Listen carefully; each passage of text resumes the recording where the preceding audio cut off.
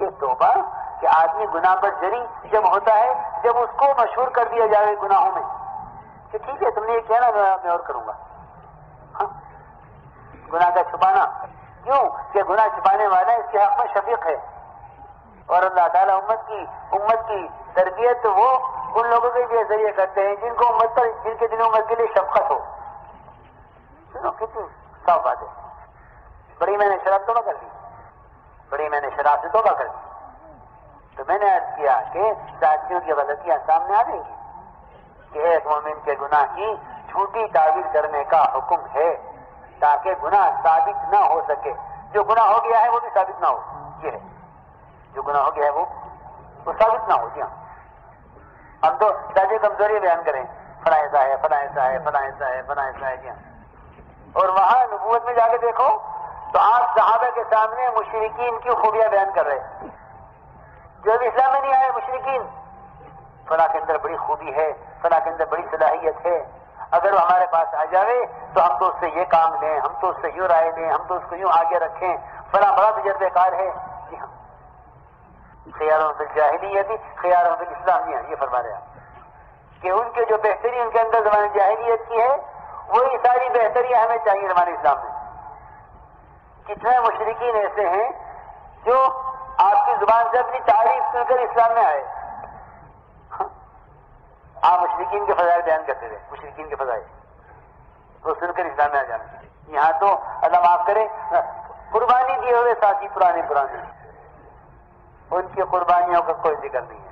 اس لیے اس کام کو اصول یہ ہے کہ اپنی کوتاہیاں اپنی کوتاہیاں دیکھو اور ساتھیوں کی خوبیاں دیکھو۔ اپنی اپنی کوتاہیاں۔ ایسا ہوں میں، ایسا ہوں میں۔ ہاں میرے ساتھی ایسے ہیں، میرے ساتھی ایسے ہیں۔ آپ آپ اپنے صحابہ کے فضائل صحابہ کے سامنے بیان کرتے تھے۔ صحابہ کے فضائل؟ صحابہ کے سامنے جی ہاں تین دن تک آپ فرماتے رہے حضرت سعد رضی اللہ کے بارے میں کہ یہ سعد جنتی آدمی ہے جی ہاں تین دن تک۔ اور تین دن تک یہ اعلان ہوتا رہا۔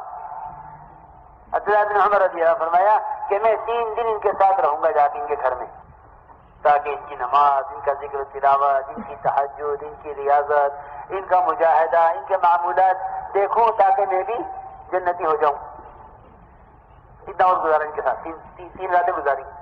اور ساری رات جاگتے رہے عبداللہ بن عمر۔ عبداللہ بن عمر ابن عاص۔ تین رات جاگتے رہے۔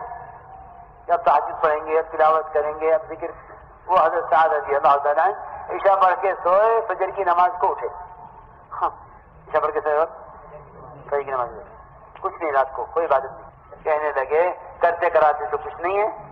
اور تین دن سے اعلان ہوا کہ جنتی آدمی ہے تو پوچھ لیا ان سے کہ جی میں تو آپ کے عمل کو دیکھ کر آیا تھا کہ جنتی ہو جاؤں گا آپ کی طرح۔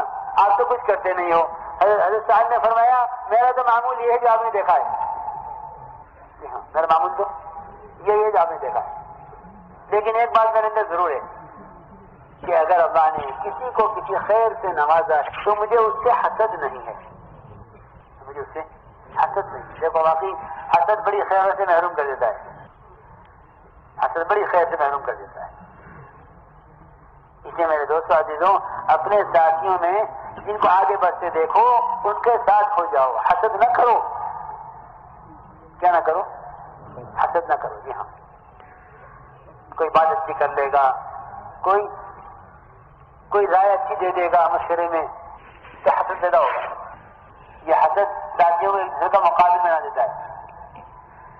زیادہ کا مزاج یہ تھا کہ جب وہ کسی کا فضائل سنتے تو ان کی صحبت میں رہنا چاہتے کسی کے ساتھ رہو۔ تاکہ اللہ تعالیٰ ان کے ذریعے ہم سے بھی کام لے لیں یہ ہے بات۔ کہ اللہ ان کے ذریعے ہم سے بھی کام